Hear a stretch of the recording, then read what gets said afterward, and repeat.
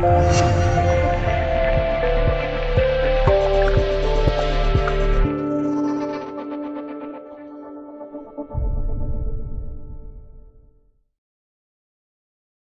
日，广州恒大又是一波狂胜。赢球之后，卡帅透露了引进保利尼奥的真相。他表示，当初引进保利尼奥是看中他的得分能力，按照前锋标准去引进的中场。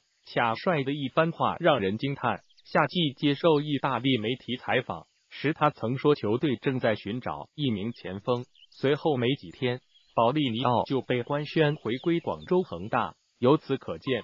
卡帅早已把保利尼奥当前锋的理想人选。回归之后的保利尼奥也深知自己的角色已经不是当初的 B to B 中场，于是选择了九号球衣，拥有前锋标准的中场球员，这是世界足坛的稀缺品，让巴萨也后悔将保利尼奥出售。主教练巴尔雷德甚至为此感到生气，他直言保利尼奥对他们很重要，不理解俱乐部为何卖掉保利尼奥。保利尼奥在上赛季总共代表巴萨踢了三十四轮西甲联赛，打进九球，助攻两次。他的这些数据足以证明自己的身价和重要性。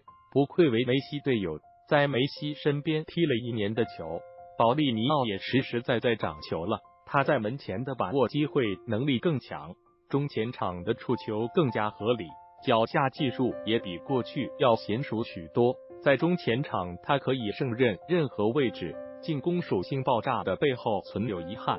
保利尼奥的防守拦截能力被弱化了，因为他的位置很靠前，把更多的精力放在了进攻端，导致防守的时候常常见不到他的拦截抢断。这与卡帅的战术体系有关。保利尼奥夏季回归中超之后，目前已经打完了七场比赛，进球效率高的惊人。打进了七球，助攻三次，可怕的是把握机会的能力达到百分之一百，超人般的数据让他成为广州恒大今夏最重要的引援。